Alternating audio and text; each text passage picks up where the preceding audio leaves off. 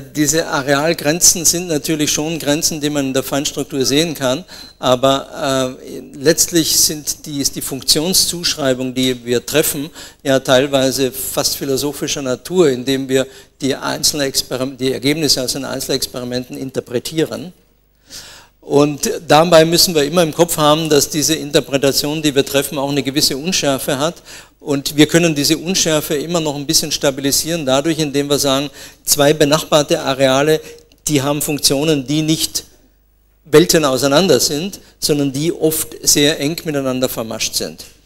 Also wir kommen zur 9 und auch hier wieder ein Beispiel von einem Experiment, wo die 9 aktiv wird. Und auch wieder ein Beispiel, äh, das äh, sozialpsychologische Bezüge hat. Äh, erstens, weil es interessant ist, aber zweitens, weil die Funktionen des medialen Kortex tatsächlich eben auch sehr viel mit, mit sozialer Informationsverarbeitung zu tun haben. Wieder ein Koronarschnitt. Wieder ist es so, dass wir die Hemisphären getrennt haben, ist klar, wir sind ja jetzt äh, genauso weit vorne fast wie bei der 8.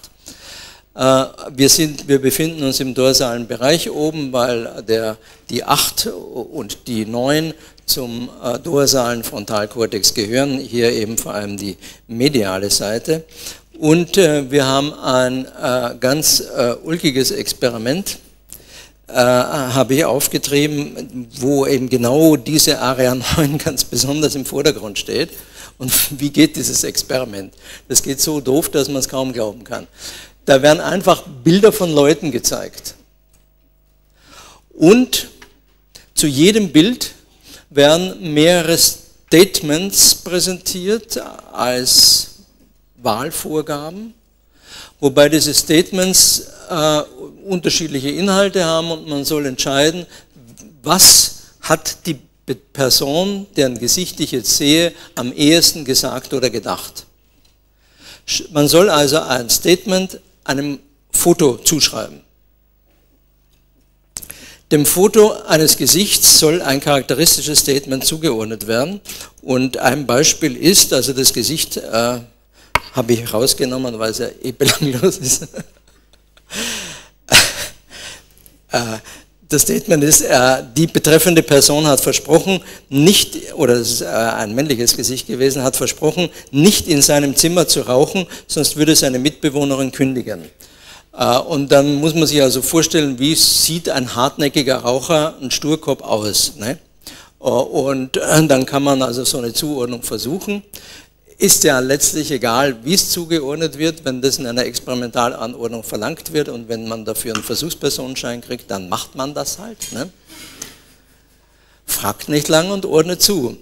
Und bei dieser, wir wollen jetzt gar nicht analysieren, nach welchen Kriterien möglicherweise solche Zuordnungen erfolgen, da gibt es übrigens auch Untersuchungen dazu, nach welchen Kriterien Gesichter durchmustert werden, um möglicherweise Eigenschaften über die Persönlichkeit zu erfahren, aber das ist ein anderes Thema.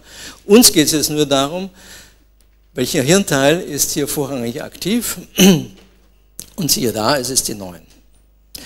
Und auch hier ist es so, dass offenbar eine ganze Reihe von Szenarien im Gehirn ausprobiert werden oder in Gedanken äh, der Probanden ausprobiert werden und äh, wie diese Szenarien im Einzelnen aussehen, können wir uns nicht vorstellen.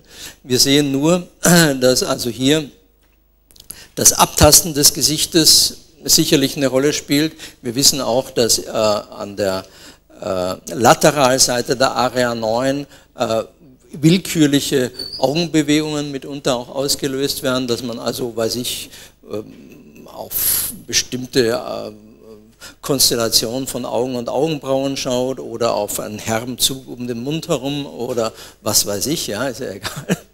Äh, und das braucht man dann auch äh, nicht nur, um eine Situation zu rekonstruieren oder eine Be Bewegung äh, äh, ähm, vorauszudenken, äh, sondern eben auch vielleicht eine große Klasse von möglichen Aktionen vorauszudenken. Während es also bei der Acht eine einzige Aktion war, haben wir jetzt eine Zuschreibung, wenn man so will, eine Persönlichkeitszuschreibung. Und was heißt Persönlichkeitszuschreibung? Das ist eine Zuschreibung von einer großen Klasse von möglichen Aktionen, die man von der betrachteten Person erwarten könnte. Ne? Das, sind, das ist nur eine Modellbildung und eine Zuschreibung, die hier erfolgt. Aber mit Einfühlung hat das nichts zu tun.